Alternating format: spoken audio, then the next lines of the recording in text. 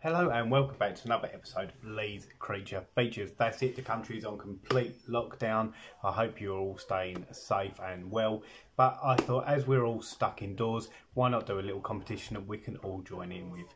So I'm going to do another enclosure building uh, competition, but obviously we're all stuck indoors. Nobody can go out and go shopping and get some bits to do a big fancy one. So I'm doing the jar enclosure challenge where I want you to go to your cupboards, get an old pickle jar, jam jar, any sort of jar you've got, and turn it into the best enclosure you can. Uh, you can be as creative as you want. Um, can go, you know, synthetic or uh, you know, make a little moss terrarium, do a jumping spider enclosure, anything at all.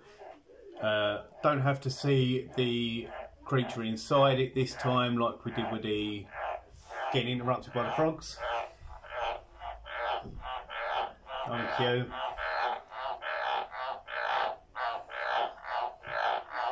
them to finish.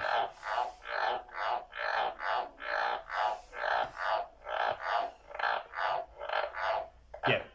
So now they're done. Go and get yourself a jar out of the cupboard and turn it into the best enclosure you can. Um, and that's it. You've got three weeks because that's how long we're on lockdown for initially. So in three weeks' time, get your videos into us, uh, just showing your best jar terrarium.